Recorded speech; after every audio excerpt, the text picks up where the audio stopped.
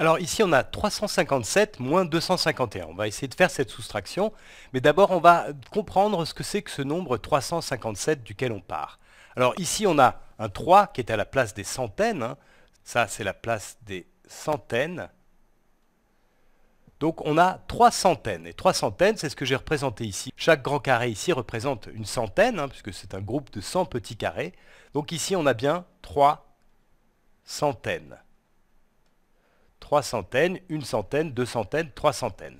Et puis dans 357, il y a aussi ce 5 là qui est à la place des dizaines. Ça, c'est la place des dizaines. Donc on a 5 dizaines, et c'est ce que j'ai représenté ici. Hein. Chaque barre euh, contient 10 petits carreaux, donc c'est un groupe de 10 unités, c'est une dizaine. Donc ici on a 1, 2, 3, 4, 5 dizaines. 5 dizaines. Voilà. Et puis enfin, il y a le chiffre 7 ici, qui est à la place des unités. Ce qui veut dire qu'on a 7 unités, et effectivement, c'est ce que j'ai représenté ici.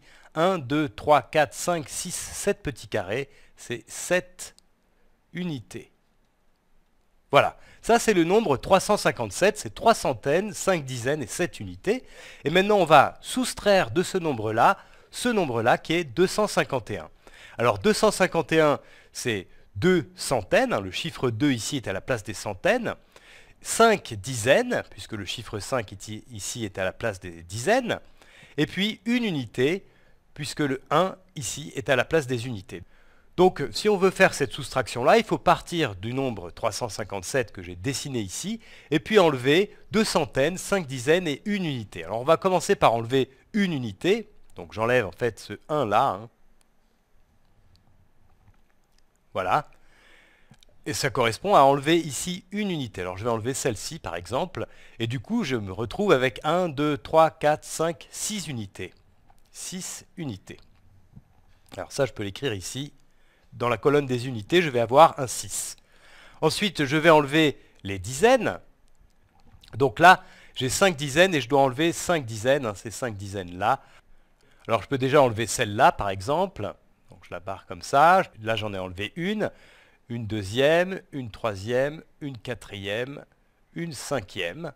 Et du coup, il me reste 0 dizaine. Je les ai toutes enlevées, donc il me reste 0 dizaine. Alors, je vais mettre ce 0 ici à la place des dizaines. Et puis maintenant, je vais m'occuper des centaines. Alors, je dois enlever deux centaines. C'est ce qui est écrit ici. Je dois enlever ces deux centaines-là. Donc, je peux enlever par exemple celle-ci. Là, j'en ai enlevé une et puis j'enlève une deuxième centaine, celle-là par exemple, et du coup il me reste uniquement cette centaine-là, donc il m'en reste une. Il me reste une centaine. Alors ce 1, je vais le mettre là. Voilà, donc là on a, terminé la soustraction, tu vois c'est assez intéressant parce qu'on a dessiné le nombre 357, comme ça on l'a représenté effectivement avec des petits carreaux, regroupés en dizaines et puis en centaines. Et on a fait la soustraction simplement en enlevant les centaines, les dizaines et les unités qu'il fallait enlever, euh, qui étaient contenues dans ce nombre-là.